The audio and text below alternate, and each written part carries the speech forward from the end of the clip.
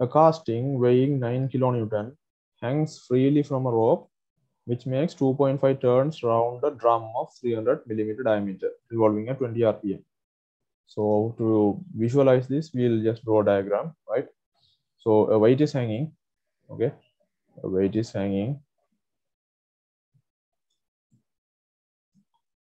from a rope which makes 2.5 turns round a drum, right?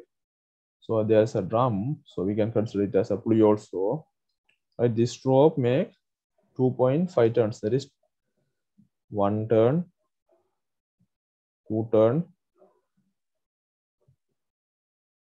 and a half turn, right? So half turn will be coming here. 2.5 turns round a drum of 300 millimeter. Other end of the rope is pulled by a man. So there's a man pulling the other end, right? There's a man pulling the other end. This is a weight. And the diameter of this is 300 millimeter, right? Uh, and it is rotating at 20 rpm.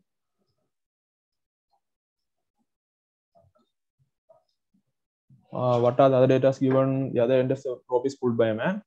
Coefficient of friction is 0.25. So mu is also given 2 point, sorry, 0 0.25. Now we have to find the force required by the man and the power to raise the casting, right?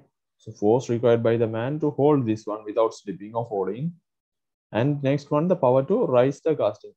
So first one to hold this one at this position.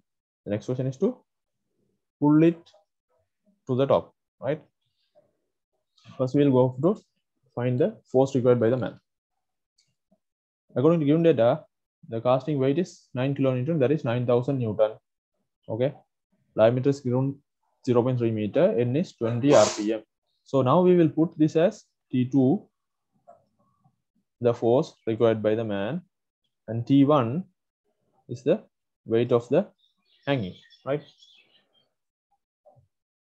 Theta is 2.5 turns of the drum. So we need to find 2.5 into 2 pi. You know, 2 pi is equal to 100, sorry, 360. Okay. 2 pi is equal to 360. So this is making two and a half turns. So one turn is 360, another turn is 360, another half turn, right? That is 180. So 2.5 into 360, which will give you 5 pi radians, right? So total theta is 5 pi radian, that is equal to 900 degree, right? 900 degree. So 5 pi radian. Now we will put it in the equation. So our mu is given, right? Mu is given. Uh, T1 and T2 also given. Not given, we have actually found, right? So we'll put in the equation 2.3 log T1 by T2 is equal to mu theta. This is the equation. Mu it's given 0.25. Theta you have already found 5 pi. Theta is already 5 pi. So this when you multiply, you will have 3.9275 radians. Okay, 3 point, not radians, sorry, 3.9275. That's all, right? So 2.3 into log of this value is equal to this one. So when you divide it by 2.3, you will have log T1 by T2 equal to 3.9275 upon 2.3, right? That will give you 1.71. Okay, 1.71.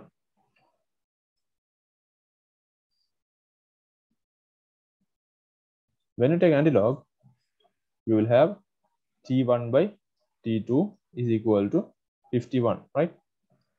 Antilog you take for both sides, you will have T1 by T2 is equal to 51. The ratio now you have found. So if you find the ratio, you can directly put it in the equation. So T1 by T2, T2 is equal to T1 by 51, right? T2 is equal to T1 by 51 because T1 by T2 is 51. The value of T1 you know 9000. So when you substitute T1 here, you will have T2 is equal to 9000 by 51 that is equal to 176.47 Newton, right? So this is the force required by man to hold this one without moving, right? Now we need to find the power to raise the casting. So here now we are going to exert some more force, then only it will move up, right? We know that the velocity of the rope v is equal to pi dn by 60, right? Velocity we know pi dn by 60. If it is power, then we need to think about the equation, right? Which is what is the equation of the power? T1 minus T2 upon into V, right? T1 minus T2 into V. So we need to find T1, we need to find T2, we need to find the V, right? So T1 and T2, T1 it's given, T2 we have already found. Now we need to find the V. In order to find the V, what we have the equation pi d n by 60, right?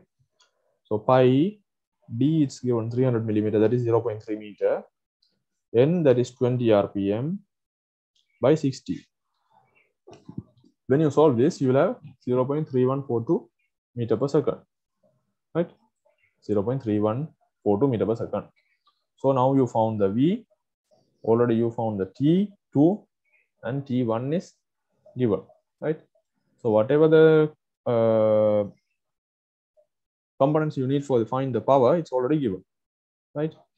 So when you put it in the equation, P is equal to T1 minus T2 into V, right? That is 9000 minus T276.47 into V. V is 0.3142. That is equal to 2772 watt, right? 2772 watts. So that will be equal to 2.772 kilowatts.